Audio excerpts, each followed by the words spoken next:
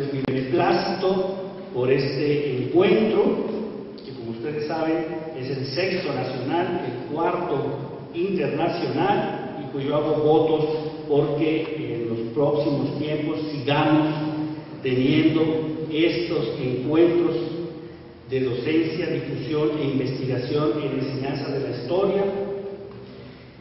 Eh, creemos que es un campo que merece, merece la pena seguirlo explorando, expandiendo, y yo estoy muy seguro, convencido de que los trabajos que aquí se van a presentar, las discusiones, las reflexiones, van a colaborar muchísimo para seguir ensanchando este campo tan promisorio para nosotros.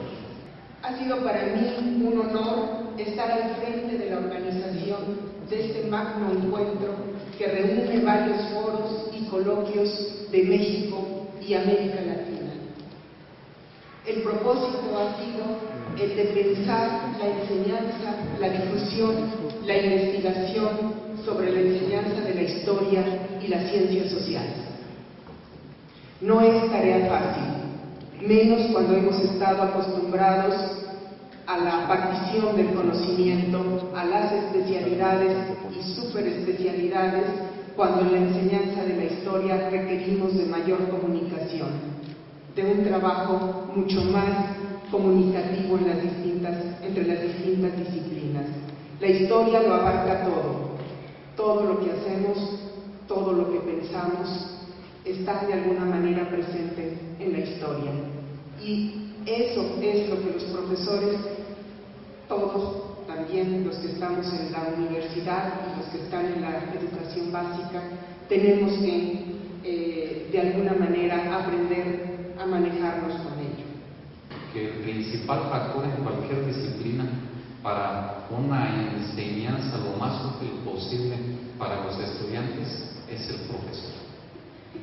Y qué bueno que lo están tratando aquí. El profesor que motive, el profesor que inspire, el profesor que se interese realmente por sus estudiantes, que sepa transmitir no únicamente el conocimiento, sino que viva los valores y que transmita la pasión por su disciplina. Cuando tenemos esa actitud como profesores, yo creo que está andando más del 50 o 60% del camino, sin dejar de lado todas eh, las técnicas, todas las tecnologías que están a nuestro alcance, la actitud es fundamental. Y qué reflexión, cómo podemos inspirar, apasionar, que la historia se convierta en una herramienta efectiva para el desarrollo integral de las personas. El profesor sigue siendo claro y ojalá lo reflexionen, lo pongan sobre la mesa y que salgan de este en mejores condiciones, con una actitud más positiva, más favorable para la enseñanza. Yo creo que eso es fundamental. La Universidad Michoacana, por supuesto que está interesada en este y en otros eventos de esta naturaleza.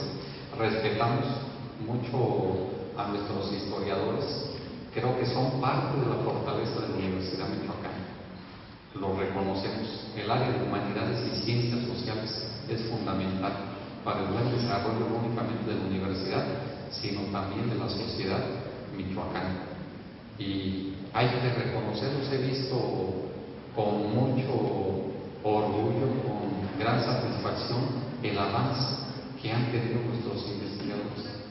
Requerimos todavía integrarnos de mejor manera, así como estamos participando en esta importante red de docencia, difusión e investigación en enseñanza de la historia, esa red tiene que fortalecerse en casa de mejor manera.